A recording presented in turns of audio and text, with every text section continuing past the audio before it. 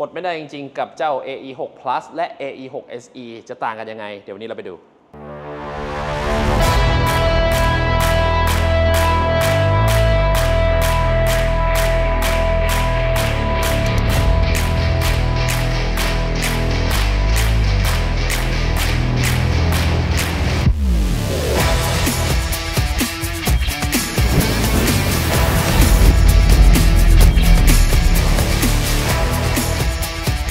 เราเคยรีวิวไปแล้วกับเจ้า AE 6 Plus ซึ่งตอนนั้นเราทำรีวิวก็ได้รับความสนใจพอสมควร ซึ่งเป็นรถไฟฟ้าที่ต้องบอกว่าอัดแน่นไปด้วยเทคโนโลยีมากมายจริง ๆ ก็คือแบบว่า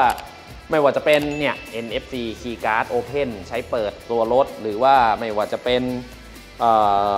ชุดมอเตอร์ ระบบขับเคลื่อนดีไซน์ต่างๆ แต่วันนี้เนี่ยซีโฮเขามีอีกหนึ่งโมเดล ซึ่งเราก็ได้รถมาสดๆ ร้อนๆ กับเจ้า AE 6 SE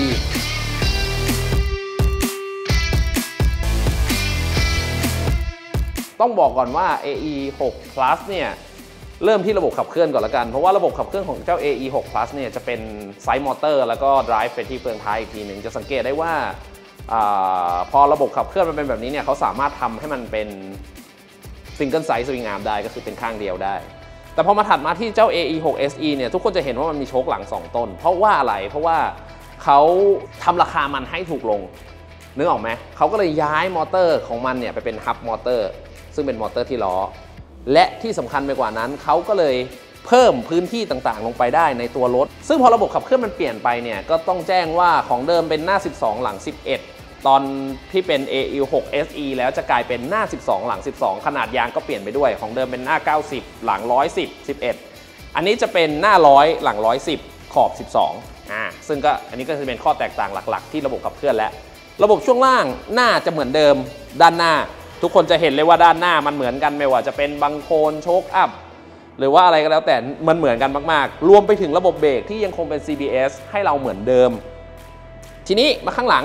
ด้านหลังจะเป็นระบบช่วงล่างแบบโช้คคู่ เพราะว่าเป็น hub motor แล้วต้องการ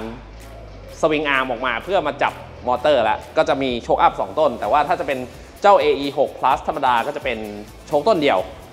ซึ่งต้องบอกว่าในส่วนตัวแล้วเนี่ย หลังจากที่เขาอันนี้มันเป็นรถ demo นะต้องบอกก่อนว่าเป็นรถที่เขาเอามาให้ดูก่อนว่า AE 6 SE จะหน้าตาเป็นแบบนี้ลำดับแรกที่เรารู้สึกว่าเราชอบมากก็คือ รูปลักษณ์ของแผงแฮนด์มันเปลี่ยนไป ถ้าทุกคนสังเกตเห็น อันนั้นจะมีชิวหน้ามีชิมีชิวหน้าเหมือนกัน แต่ว่าอ่าอันนั้นเนี่ยเขาจะมีกรอบแฮนด์มีนู่นนี่นั่น แต่อันนี้เนี่ยจะมาในรูปแบบของ handlebar เลยออกมาเป็น handlebar ออกจากตุ๊กตามาเป็น handlebar แล้วก็เรือนไมล์กับ shield หน้าก็จะประกบอยู่ด้วยกัน เป็นชุดเดียวกันนะนะ แต่อุปกรณ์ส่วนควบอื่นๆ ไม่ว่าจะเป็นชุดคันเร่งปลอกมือประกับสวิตช์ไฟและปั๊มเบรกเหมือนเดิมนะ อันนี้เหมือนเดิม อีกอย่างหนึ่งที่เปลี่ยนไปสำหรับเจ้า AE 6 SE ก็คือหน้าจอ หน้าจอจะไม่เหมือนกัน จะถูกออกแบบมาใหม่ ให้ผมใช้คำว่าดูดีขึ้นนะ ส่วนตัวมองว่าดูดีขึ้นนะ จริงๆ แล้วภายนอกอะดูแทบจะไม่ต่างกันเลยของเดิมจะเป็นทั้งอันแบบนี้เพราะเขาจะมีเซ็นเซอร์ NFC ตรงนี้ แต่ว่ารุ่นใหม่ที่เป็น AE 6 SE เนี่ยเขาจะใช้กุญแจแล้ว ระบบกุญแจของเขาก็ก็ต้องบอกว่ามันก็ไม่ได้ยุ่งยากอะไร เพราะว่าระบบกุญแจของเขาใช้เพื่อ activate รถ เปิดรถขึ้นมาปุ๊บคุณกดตึ้งหนึ่งรถก็จะ activate แล้วปุ๊บหลายคนก็จะคิดว่าเฮ้ยแล้วจะมีกุญแจไปเพื่ออะไร ถ้าคุณสามารถปิดรถแล้วก็เปิดรถได้โดยที่ไม่ต้องใช้กุญแจอะไรเงี้ยเนี่ยกดปิดรถก็ปิดได้เหมือนกัน แต่ว่าการมีกุญแจมันก็จะทำให้เรา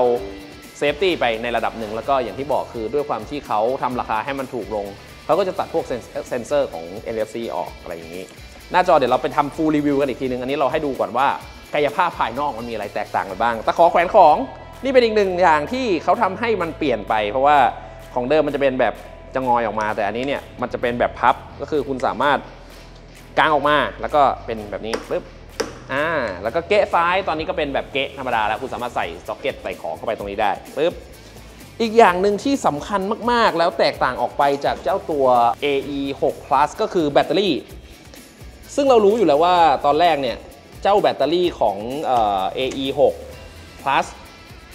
มันจะเป็นแบตก้อนเดียว หรือแม้มีรุ่นแบต2ก้อนก็จะใช้ได้ทีละก้อน แต่ AE 6 SE เนี่ย ด้วยความที่เขาย้ายระบบขับเคลื่อนจัด management นู่นนี่นั่น เขาสามารถฟิตแบตเตอรี่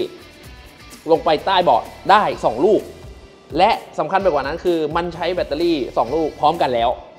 นั่นทำให้ผมใช้คำว่าอะไรอะพอมันใช้แบตเตอรี่ 2 ลูกพร้อมกันยังกดเช็คเปอร์เซ็นต์แบตได้เหมือนเดิมนะทุกคน ก็มันใช้แบตเตอรี่ 2 ลูกพร้อมกันคือเราก็ไม่ต้องมานั่ง swap แบตเตอรี่แล้ว แล้วก็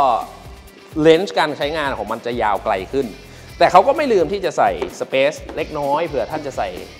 กระเป๋าหรือสัมภาระเล็กน้อยตรงนี้ได้เหมือนเดิมนะทุกคน material อื่นๆ ไม่ว่าจะเป็นเบาะเบอร์อะไรก็เหมือนเดิมนะ ก็คือประกับเบาะหรือว่าชิ้นส่วนสำคัญอื่น ๆ ที่ผู้ขับขี่ได้ใช้เนี่ยคุณภาพของมันก็ยังคงเหมือนเดิม เหมือนเดิมเลยแหละใช้คำว่าเหมือนเดิมเลยแหละ แต่ว่าเราจะทำราคาเขาจะทำราคาให้มันถูกลงแน่ๆ จากการที่เขาเปลี่ยนระบบขับเคลื่อนของมันเปลี่ยนระบบสตาร์ทของมันเปลี่ยนอะไรหลายๆอย่าง ราคาของมันจะถูกลงแน่ๆซึ่งเดี๋ยวเราจะมี full review ต่อไปในอนาคตยังไงฝากกดไลค์กด subscribe และกดติดตามไปด้วยครับ